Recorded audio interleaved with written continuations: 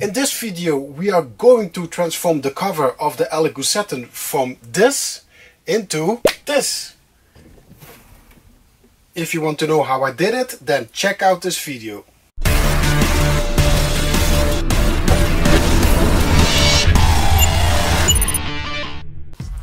So the first thing that we need to do is measure out on both sides the exact distance for uh, for the doors. So where the doors are going to start and open on the front like that.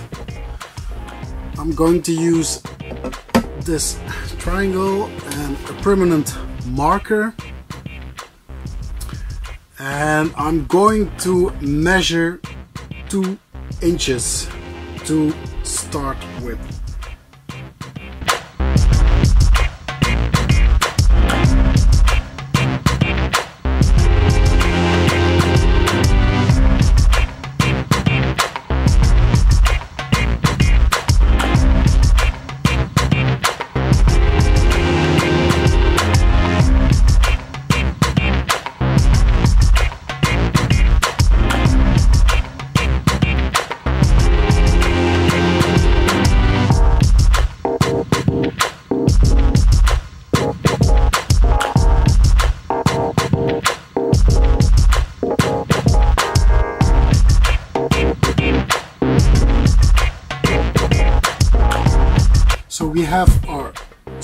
Point and both sides are measured out equally.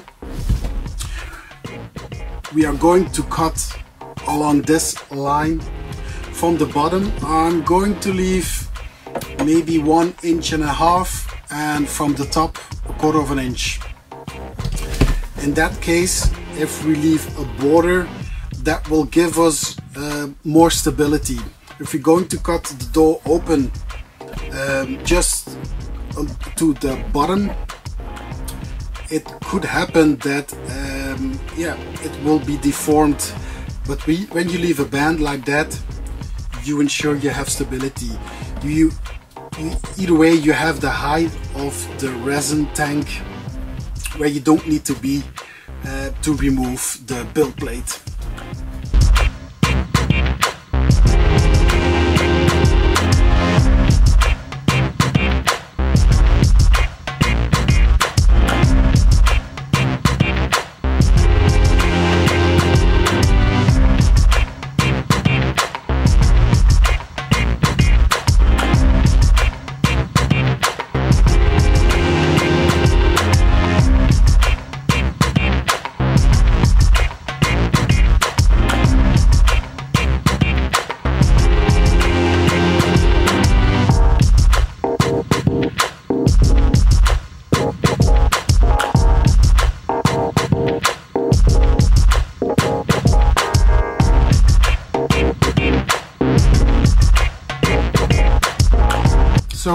everything is measured out and as you can see between the purple masking tape is where the door is going to be split in half of course.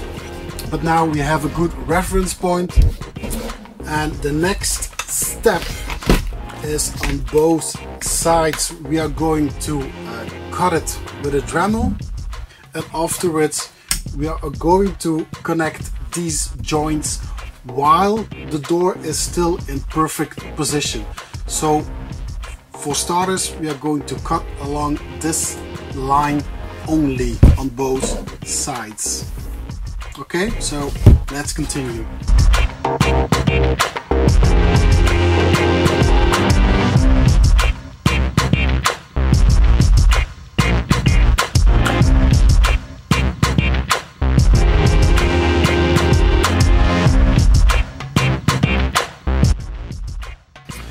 The next step is to uh, attach these joints and I will be measuring uh, one and a half inch from both corners.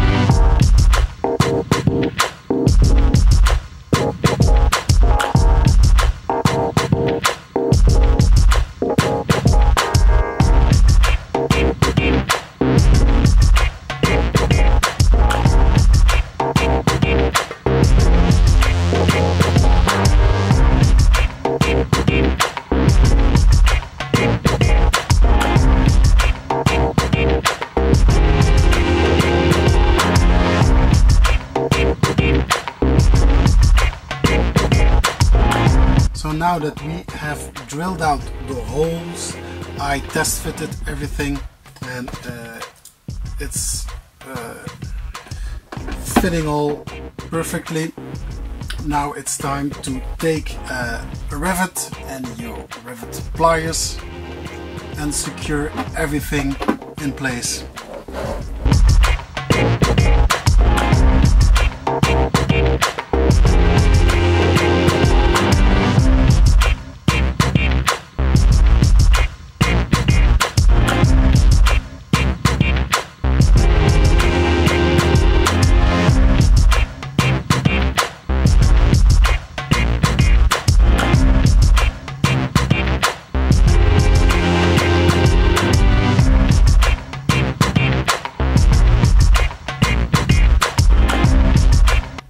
Okay, so the next step is to uh, measure out the middle. Um, if you have an Elegoo Saturn, don't be mistaken, the bottom is slightly wider than the upper part. So let's say if you are measuring five and a half inches in the middle, that doesn't mean that five and a half inches will be uh, the middle at the top. So uh, you need to measure both the bottom and the top side. I already did that. I'm going to apply uh, masking tape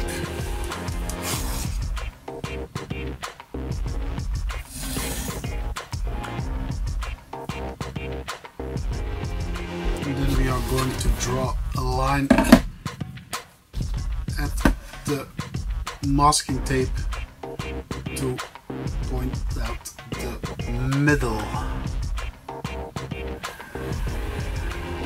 We're going to start by uh, carving out the middle section first and then we are going to continue carving out the bottom and top part of the doors.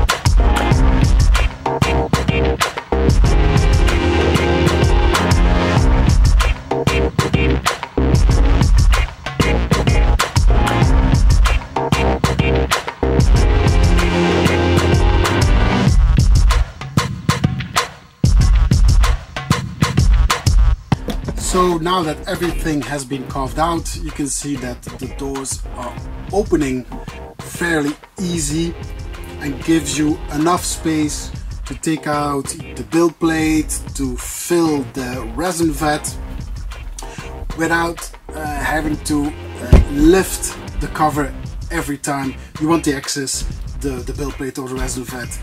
Because yeah, if you have this, uh, if you're using this Saturn cover. By default you need a lot of top space to lift the cover every time you want to access the printer. And uh, with these doors which reminds me of my Phrozen Transform resin printer that I have um, yeah it's still relatively stable and strong enough. I'm also going to create some uh, self-designed uh, small handles to uh, open the printer. So now it's time to uh, remove the masking tape every, everywhere and with, uh, with some uh, fine sandpaper we're going to sand the edges a little bit.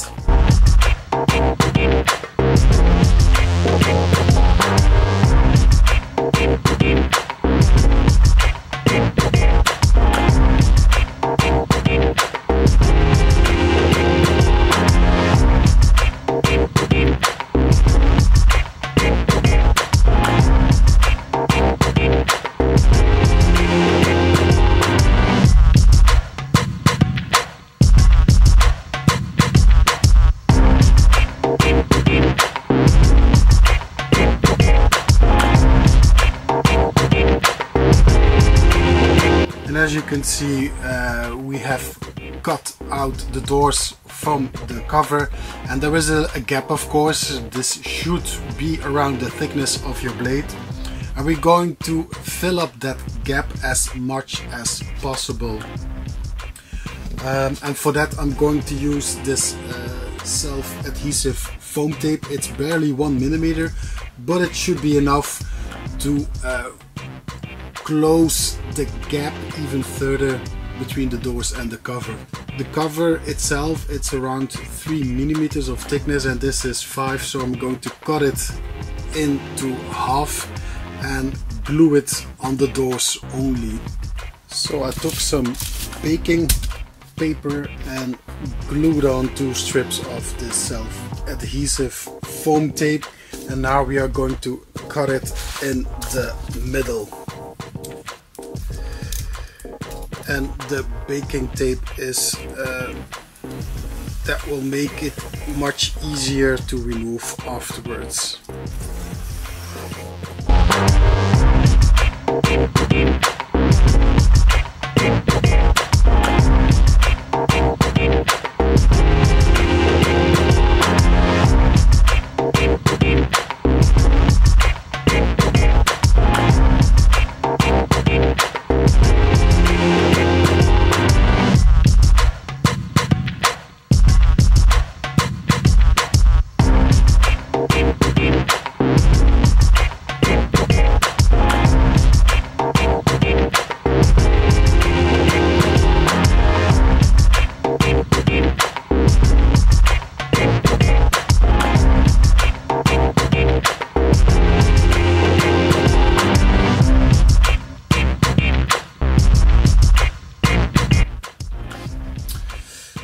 So the uh, adhesive tape has been glued on on the doors and as you can see it, it already fills up the gap relatively good.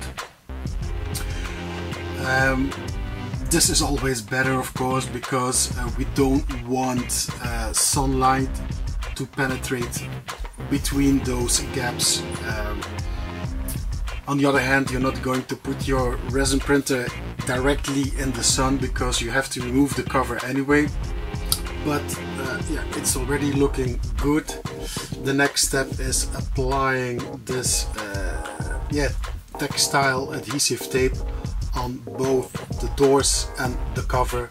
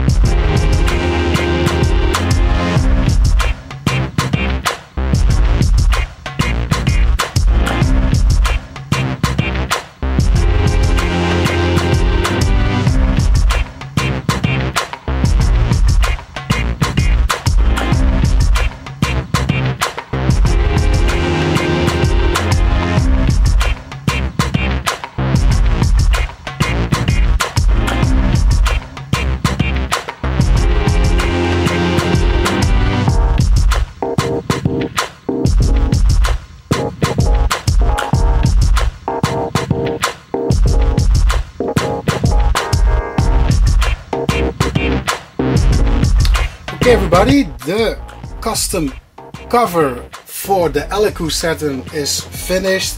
I'm very pleased with the outcome. Um, it's it's very practical. You need just a minimal of space uh, before you um, had to make sure that you have enough space above the uh, printer because you need to remove it upwards. But with these two doors the needed space is a minimum. I can easily access the knob for removing the build plate if I need to uh, clean it. I can easily remove the flex plate.